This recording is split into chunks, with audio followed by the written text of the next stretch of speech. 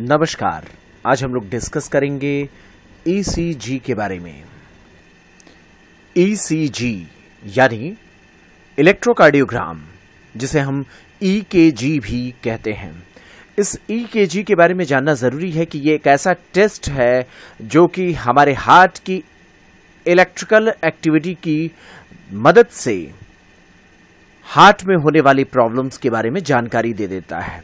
तो इसे हम एक पेपर पर ट्रेस करते हैं और ये हमारे हार्ट के मस्कुलर एक्टिविटीज़ के बारे में बेहतर जानकारी दे सकता है, इसलिए इसका इस्तेमाल किया जाता है। तो चलिए इसके बारे में बात करते हैं, इसे समझने की कोशिश करते हैं। 12 लीड का क्या कॉन्सेप्ट है? तो स्टैंडर्ड जो 12 लीड होते हैं, वो हार्ट की इलेक्ट्रिकल एक्टिविटीज़ को बॉडी सरफेस पर चेक करते हैं और इसकी मदद से हम बेहतर रिप्रेजेंटेशन बना सकते हैं, जिसमें सिक्स प्री कार्डियल लीड्स होते हैं और सिक्स लिम्ब लीड्स होते हैं। तो इसके बारे में यहाँ पर हम देख सकते हैं। Precordial or chest leads यहाँ पर देखिए V one V two V three V four V five V six ये यहाँ पर दिए गए हैं। आप देखेंगे वी वन और वी टू ये फोर्थ इंटरकॉस्टल स्पेस में इनको लगाया जाता है स्टर्नम के दोनों ही साइड में। इसके बाद आप देख रहे हैं फोर, फाइव, सिक्स, ये फिफ्थ इंटरकॉस्टल स्पेस में रखे गए हैं। इसमें आप देखेंगे, ये मिड क्लेविकुलर लाइन के अलोंग V4 की पोजीशन है, जबकि V6 की पोजीशन आप देखेंगे मिड एक्जुलरी लाइन पर है और V5 की जो पोजीशन है, वो एंटीरियर एक्जुलरी लाइन पर है। तो आप इस तरीके से प्री कॉर्डियल और चेस्ट लीड की पोजीशंस को आप देख सकते हैं।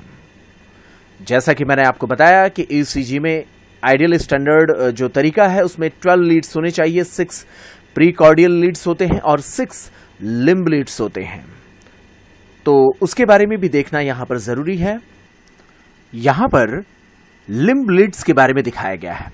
हम देख सकते हैं बाइपोलर लिम्ब लीड्स और यूनिपोलर लिम्ब लीड्स। दो कॉन्सेप्ट है। यहाँ पर बाइपोलर जो लिम्ब लीड्स हैं, उसमें लीड वन, लीड टू और लीड थ्री होते हैं।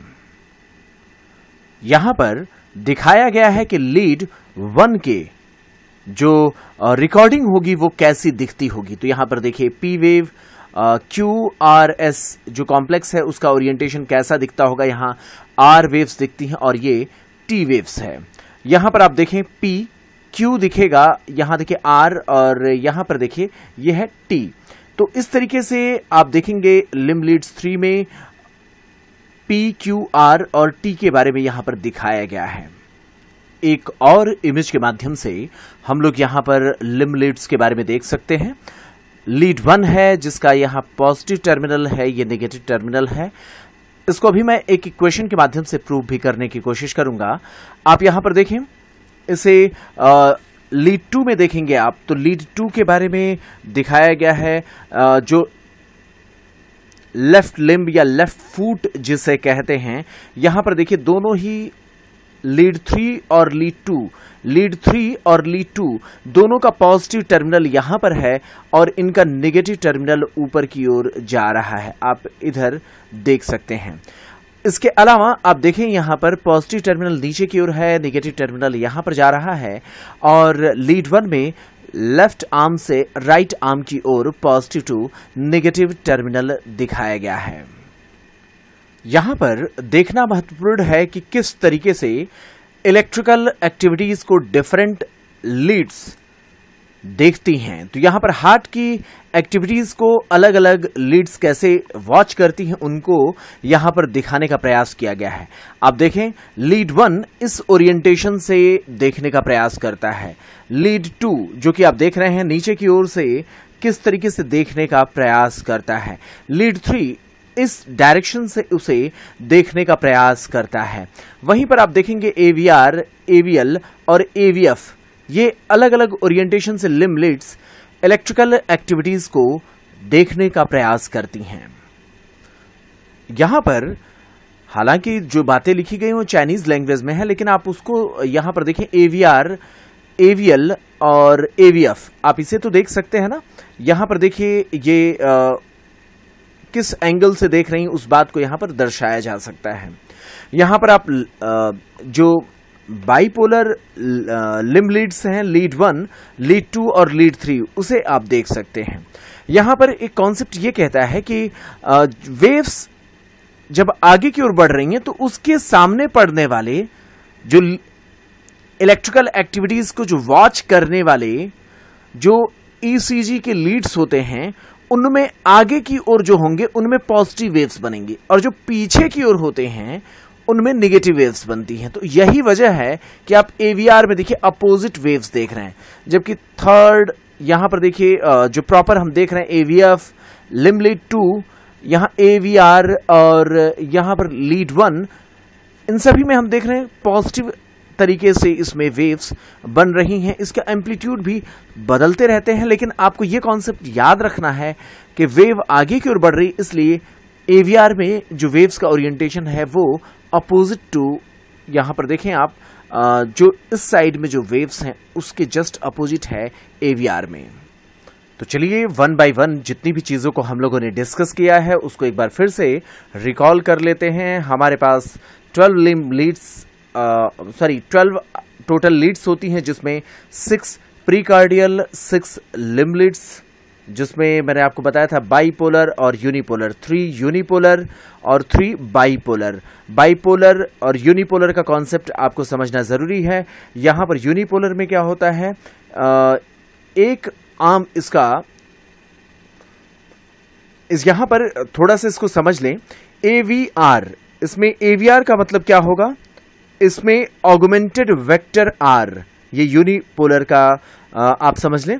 इसी तरीके से ये पूरी तरीके से इसे एक्सप्लेन किया जाता है किस पार्ट में है। तो यहाँ पर देखें आप ए वी एल ये क्या है? ऑगमेंटेड वेक्टर लेफ़्ट ये है राइट right, और ये है फुट तो यहाँ पर देखिए ऑगमेंटेड वेक्टर फुट तो ये एवीआर एवीएल और एवीएफ ये तीन यूनिपोलर लीड्स होते हैं लिम लीड्स होते हैं और तीन बाईपोलर। इसमें पोलैरिटी का डिफरेंस आपको क्लियरली नज़र आता है, इसलिए इसे थ्री बाईपोलर कहते हैं वन टू और थ्री यहाँ पर समझ लें, ये जो वन टू सिक्स जो पेरिकार्डियल जिसके बारे में बताया था, ये भी यूनिपोलर ही होते हैं और इसका भी कॉन्सेप्ट यही कहता है कि ये यूनिपोलर लिम लिड्स हैं जिन्हें हम प्रीकार्डियल या जिसमें हम नंबर इसे हम मेंशन करते हैं one, two, three, four, five और सिक्स के द्वारा। वो यूनिपोलर लिमलिड्स हैं, जबकि यहाँ पर तीन यूनिपोलर और बाईपोलर हैं। इनकी लोकेशंस को जब हम समझते हैं तो जो प्री कार्डियल लिमलिड्स हैं, इसके बारे में मैं आपको बता चुका हूँ कि फोर्थ इंटरकॉस्टल स्पेस में वी वन, वी टू को लगाते हैं, जबकि V three, V four, V five, six इसके लोकेशन को जब यहाँ दर्शाया जाता है तो आप ज़्यादा तौर पर ध्यान देते हैं वी फोर के बारे में, जो मिड क्लेविकुलर लाइन पर फिफ्थ इंटरकॉस्टल स्पेस में लगाया जाएगा। वी फाइव ये एंटीरियर एक्सिलरी लाइन पर लगाई जाती है। वी सिक्स जो कि मिड एक्सिलरी लाइन पर लगाई जाती है। इनको ज़्यादा सावधानी के साथ मेंशन किया जाता है और V2 और V4 के बीच में V3 को रखा जाता है। ये यहाँ पर एक समझने वाला कॉन्सेप्ट है प्रीकॉर्डियल लिम्बलिड्स के बारे में। ऑगमेंटेड लिम्बलिड्स इलेक्ट्रिकल पोटेंशियल में होने वाले चेंजेस को फ्रंटल प्लेन में चेक करते हैं। तो इसीलिए ऑगमेंटेड जो लीड्स हैं एवीआर एवीएफ और एवीएल जिसको हम रिप्रेजेंट करते हैं, ये फ्रंटल प्लेन में होने वाले चेंजेस के बारे में बताते हैं। तो इसमें आपको पता होना चाहिए AVR augmented vector right arm AVL augmented vector left arm AVF augmented vector AVF में क्या है? फुट है। तो उसमें लेफ़्ट लेग को ही हम दर्शाते हैं। ये कॉन्सेप्ट हमें समझ में आना चाहिए। अब हम बात करेंगे इसके बाद इथनोवेन ट्रायंगल के बारे में। इंथोवेन ट्रायंगल यहाँ पर देखें, ये एक इमेजनरी ट्रायंगल है जो कि थ्री लिम्ब लेट्स की मदद से एक इमेजिन की गई ट्रायंगल है। इसमें जो इमेजिनेशन किया गया था, वो इमेजिनेशन दोनों ही शोल्डर और प्यूबिस को इमेजिन करते हुए बनाया गया था। हालाँकि इसे आप रियल ऑब्जर्वेशन में ऐसे भी समझ सकते हैं।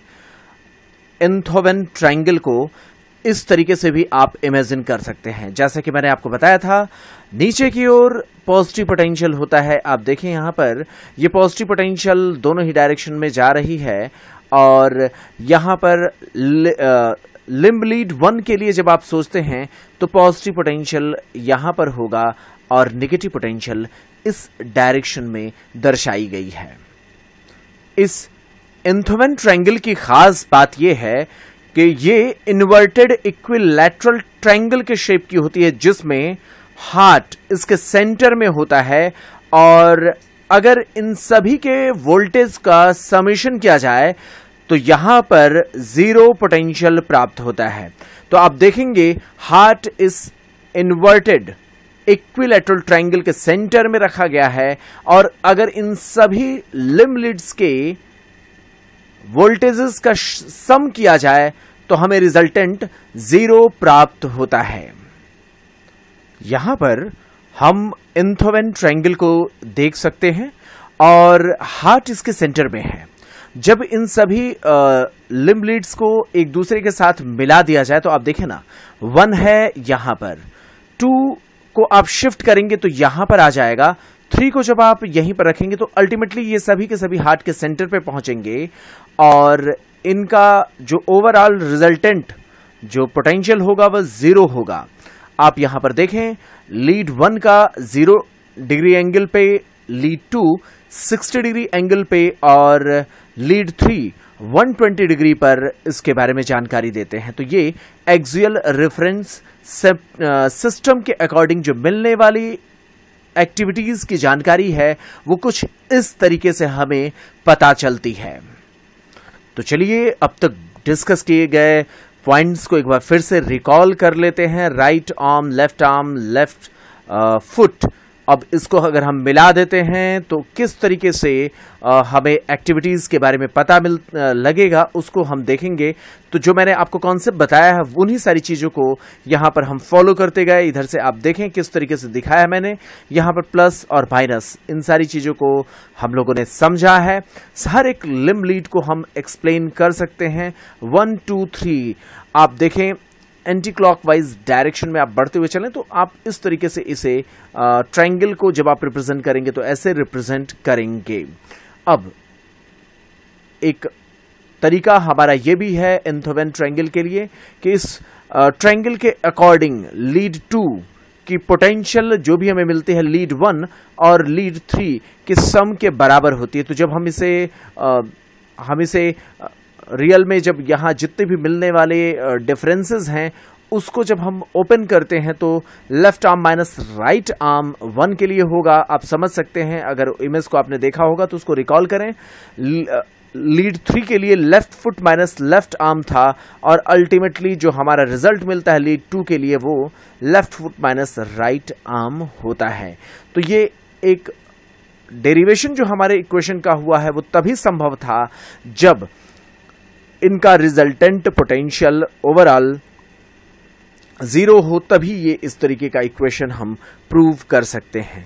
तो अल्टीमेटली हम लोगों ने समझा इंथोवेन ट्रायंगल के बारे में और यहाँ पर मिलने वाले रिजल्ट्स के बारे में। चलिए ईसीजी पेपर के बारे में चलते हैं और समझने की कोशिश करते हैं कि ईसीजी के पेपर पर किस तरीके से रिकॉर्डिंग होती है और उसे कैसे समझा जा सकता है।